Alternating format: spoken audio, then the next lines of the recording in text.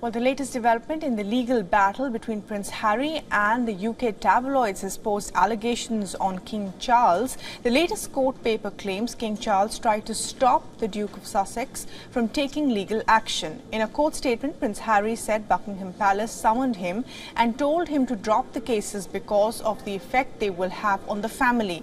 The documents were revealed in the UK High Court where Harry claimed Buckingham Palace and the Sun newspaper group made a backroom deal and he only got to know about the alleged deal in 2012.